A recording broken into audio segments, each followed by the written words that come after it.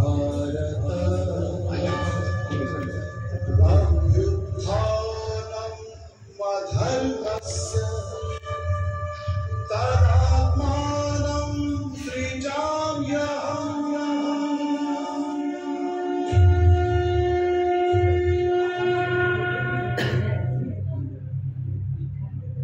गीता में वर्णित इस प्रसिद्ध श्लोक में भगवान कहते हैं कि जब जब भारत में धर्म की अधिग्लानी हुई, अधर्म बढ़ा, तब तब धर्म की पुनर्स्थापना करने के लिए परमात्मा ने इस धरा पर अवतरण किया है।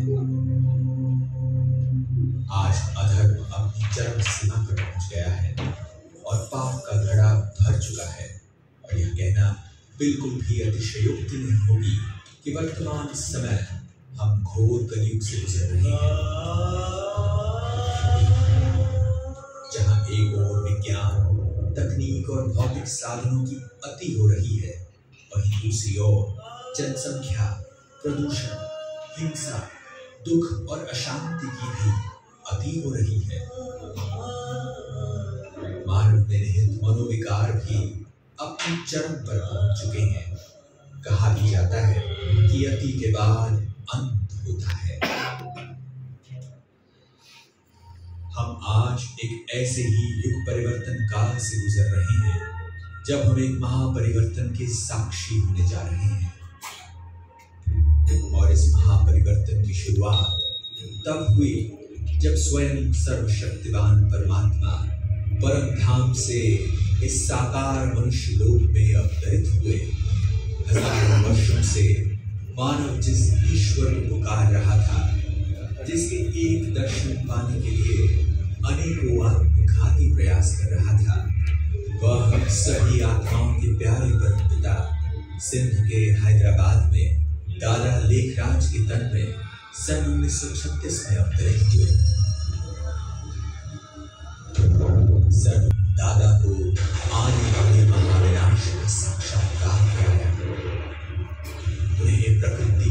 के पाँचों का विकराल तांडव दिखाया, कहीं भूकंप तो कहीं ज्वालामुखी, कहीं आग तो कहीं पानी का सैलाब गाँव के गाँव निकल रहा है। कहीं बाढ़ तो कहीं समुद्र की उछालें ऐसी, जैसे कि समूल पृथ्वी को ही काल के गर्द में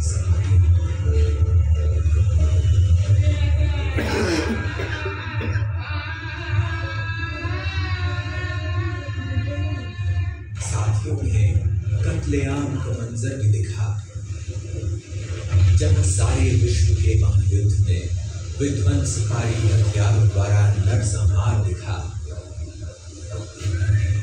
तो भारत ने गृह युद्ध द्वारा खून की नदियाँ बहती हुई दिखी।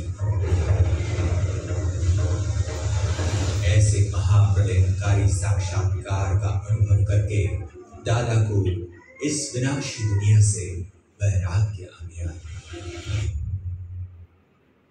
तत्पश्चात परमात्मा ने उन्हें कलयुगी सृष्टि के महाविनाश के बाद आने वाली स्वर्णिम सतयुगी सृष्टि का भी दिव्य साक्षात्कार कराया, जिसमें उन्हें एक अति मनभावन दुनिया का नज़ारा दिखा। एक ऐसी दुनिया जहाँ चारों ओर सुख शांति और पवित्रता थी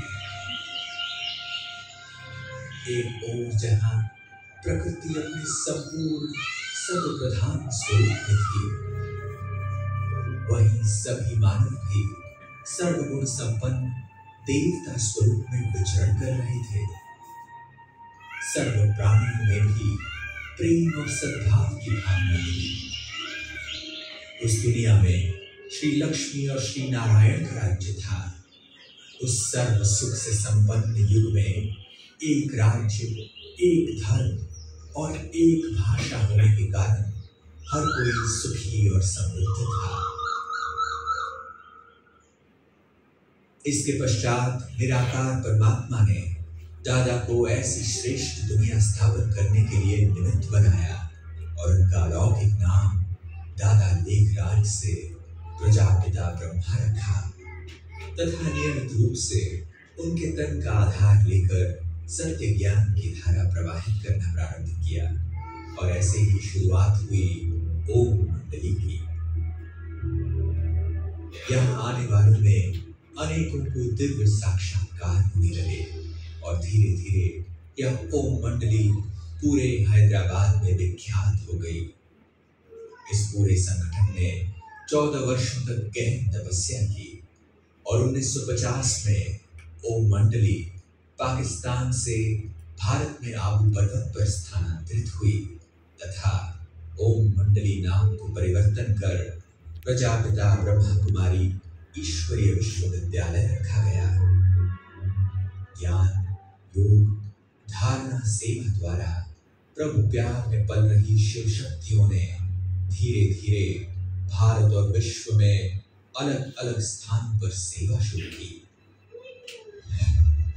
सन उन्नीस सौ उनहत्तर में ब्रह्मा बाबा अपनी संपूर्ण अवस्था को प्राप्त कर अव्यक्त हो गए।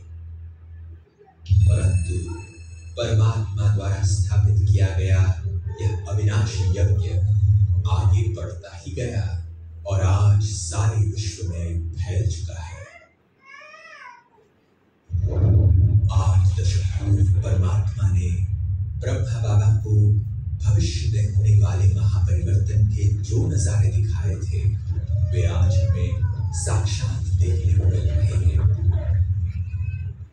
आज हम बारूद के ढेर पर बैठे हैं। पूरी पृथ्वी को कई बार नष्ट कर दे।